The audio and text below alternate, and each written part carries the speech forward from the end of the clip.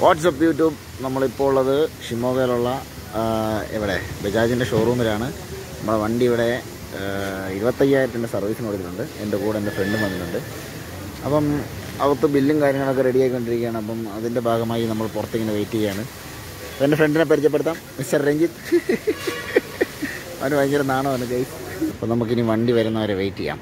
വണ്ടി വന്നു കഴിയുമ്പം എന്തൊക്കെ ചേഞ്ച് ചെയ്തു? എന്തൊക്കെ കാര്യങ്ങളാണ് സംഭവിച്ചതെന്നുള്ളത് നമുക്ക് നോക്കാം. ഞങ്ങൾ വന്ന സമയത്ത് ഇവിടെ എന്തോ ഒരു ഡെലിവറിയും കാര്യങ്ങളൊക്കെ നടക്കുന്നുണ്ട്. ഏതോ ഒരു വണ്ടി അവിടെ മൂടി വെച്ചിട്ടുണ്ട്. എന്താണെന്ന് നോക്കാം. ഗൈസ് അതൊരു വെസ്പ സ്കൂട്ടറായിരുന്നു അതെനിക്കൊന്ന് ഇലക്ട്രിക്കാണ് ആ സാധനം ചേതക്ക്. ആൾക്കാരൊക്കെ കൂടി നിൽപ്പുണ്ട് ഗൈസ് അങ്ങനെ ബില്ലിങ്ങും കാര്യങ്ങളൊക്കെ കഴിഞ്ഞു. എമൗണ്ടും കാര്യങ്ങളൊക്കെ എത്ര ആയെന്നുള്ളത് വണ്ടിയോട് നിറക്കിയിട്ട് ഞാൻ പറഞ്ഞുതരാം. അപ്പോൾ ഇത് ബാക്കി വന്ന ഓയിലാണ് നമ്മൾ ഈ ഓയിലാണ് യൂസ് ചെയ്യുന്നത്.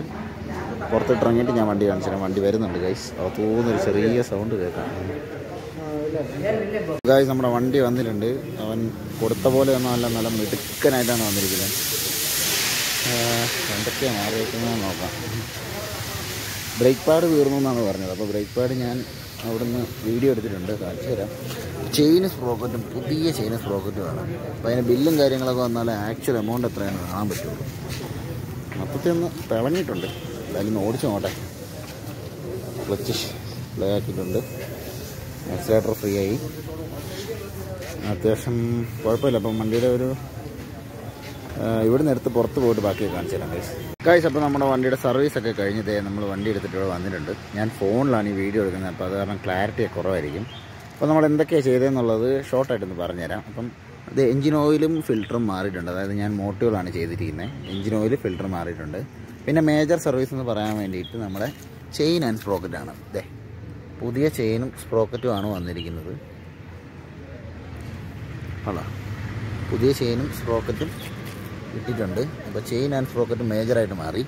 പിന്നെ അതുപോലെ തന്നെ വണ്ടിയുടെ ബ്രേക്ക് പാഡ് മാറി എന്നാണ് പറഞ്ഞിരിക്കുന്നത് അപ്പോൾ ബ്രേക്ക് പാഡ് ഞാൻ എനിക്ക് തോന്നണ ഒരു പതിനയ്യായിരം കിലോമീറ്ററിൽ ഒരു തവണ മാറിയിട്ടുണ്ട് ബ്രേക്ക് പാഡ് അപ്പം എങ്ങനെയാണ് ഇത് ഇത്ര പെട്ടെന്ന് തീർന്നു പോയെന്നുള്ളതിനെ പറ്റി ചെറിയൊരു അന്വേഷണം നടത്തേണ്ടിയിരിക്കുന്നു.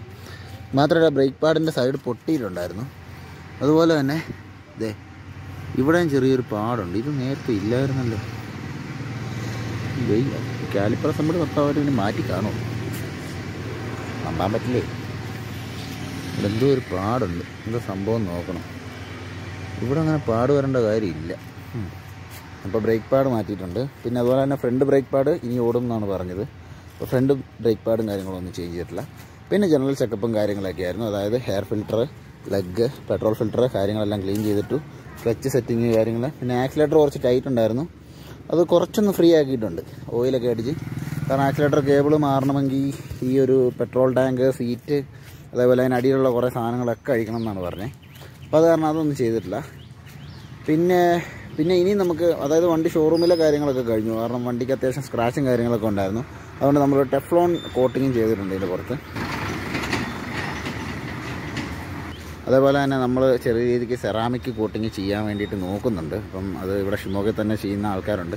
അപ്പോൾ അവരെ കൊടുത്തൊരു ഡീറ്റെയിലിംഗ് ചെയ്യാൻ വേണ്ടിയിട്ടാണ് ഇപ്പം ഞാൻ ആലോചിച്ച് വെച്ചിരിക്കുന്നത് കുറച്ചധികം ആളുകളായിട്ട് തിരക്കും കാര്യങ്ങളൊക്കെ കാരണം വണ്ടി തീരെ മെയിന്റെയിൻ ചെയ്യാൻ പറ്റിയിട്ടില്ല. അപ്പോൾ അത് കാരണം ആണ് ഇത്രയും കംപ്ലൈന്റും കാര്യങ്ങളൊക്കെ ആയത്. കാരണം ചെയിനൊക്കെ പോയിരുന്നു. അപ്പം അത് കഴിഞ്ഞിട്ട് ഞാൻ വീണ്ടും ഓടിച്ചു. എനിക്ക് വേറെ വഴിയില്ലായിരുന്നു. അപ്പോൾ ഇനിയിപ്പം നമ്മളിപ്പോൾ ഇനിയിപ്പോൾ ചെയ്യേണ്ടത് എന്താണെന്ന് വെച്ചാൽ ഇനി ഇതേ ഹോണിന്റെ വയറൊരെണ്ണം പോയി കിടപ്പുണ്ട്. അത് ഇനി ഒന്ന് സെറ്റാക്കി എടുക്കണം. ഒരു വയർ വിട്ട് കിടക്കാൻ ഇവിടെ. അത് സെറ്റാക്കണം. പിന്നെ പിന്നെ സെറാമിക് കോട്ടിങ് ചെയ്യണം. പിന്നെ ഈ ഡോമൻ ഫോർ ഹൺഡ്രഡ് എന്നൊക്കെ അടിച്ചേക്കുന്ന സാധനമൊക്കെ അത്യാവശ്യം പോയി നല്ല രീതിക്ക്. അപ്പോൾ അതെല്ലാം ഒന്ന് സെറ്റാക്കി എടുക്കണം. അത്രയൊക്കെ ഉള്ളൂ. അത് കഴിഞ്ഞാൽ പിന്നെ വണ്ടിക്ക് ഒരുപാട് ഇതൊന്നും ചെയ്യുന്നില്ല. വണ്ടിക്ക് വലിയ ഓട്ടോ ഒന്നും കാണില്ല ഇനി.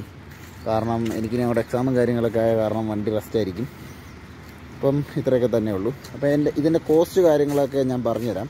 അതായത് ചെയിനും സ്പ്രോക്കറ്റും മാറിയതിന് തന്നെ അയ്യായിരം രൂപ ആയിട്ടുണ്ട്.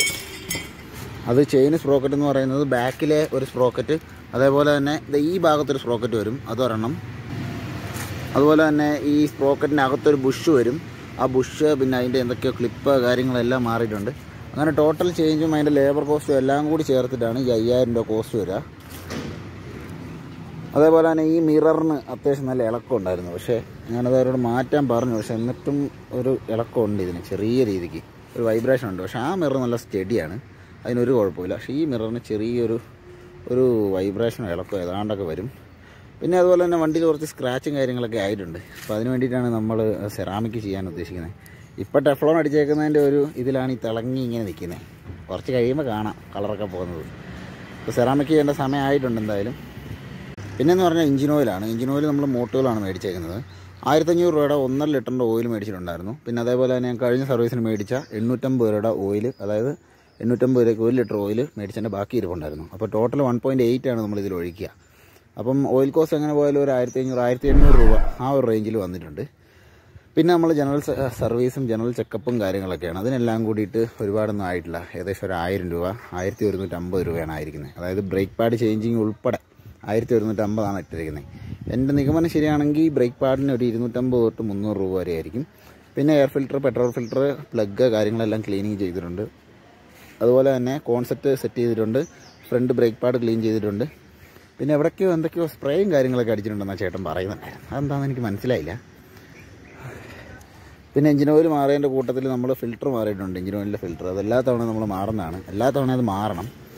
പിന്നെ വേറെ ഒന്നുമില്ല അത്രയൊക്കെയാണ് നമ്മൾ വണ്ടിയിൽ ചെയ്തിരിക്കുന്ന കാര്യങ്ങൾ അപ്പം ഓടിച്ചു നോക്കിയിട്ട് വളരെ സ്മൂത്താണ്. ചെയിൻ മാറിയതിന്റെ ഒരു ഇതായിരിക്കും. വളരെ സ്മൂത്ത് എന്ന് പറഞ്ഞാൽ വളരെ സ്മൂത്താണ് വണ്ടി. അതായത് ആ പഴയ ഒരു ജെർക്കിങ്ങും കാര്യങ്ങളൊന്നുമില്ല. ഗിയറൊക്കെ നല്ല സ്മൂത്തായിട്ട് വീഴുന്നുണ്ട്. ആക്സിലേറ്റർ ഒക്കെ ഇച്ചിരി ഫ്രീ ആയത് കാരണം ഓടിക്കാനും ഒരു സുഖമുണ്ട്. അതുള്ളൂ. അടുത്ത നമ്മൾ സെറാമിക് കോട്ടിങ്ങും കാര്യങ്ങളൊക്കെ ചെയ്യുന്നതിന്റെ ഭാഗമായിട്ട് ഒരു വീഡിയോ വരുന്നുണ്ടാവും. അപ്പം ആ വീഡിയോ വന്നു കഴിയുമ്പം ബാക്കി നമുക്ക് ആ സമയത്ത് ചെയ്യുന്ന എന്തൊക്കെയാണെന്നുള്ളതും ഒക്കെ കാര്യങ്ങളൊക്കെ കാണിച്ചുകൊണ്ട് ഞാൻ വീഡിയോ അപ്ലോഡ് ചെയ്യുന്നതായിരിക്കും. എല്ലാവരും വീഡിയോ ഇഷ്ടപ്പെട്ട് കഴിഞ്ഞാൽ ലൈക്ക് ചെയ്യുക ഷെയർ ചെയ്യുക. ഇത്രയൊക്കെ തന്നെ ഉള്ളൂ.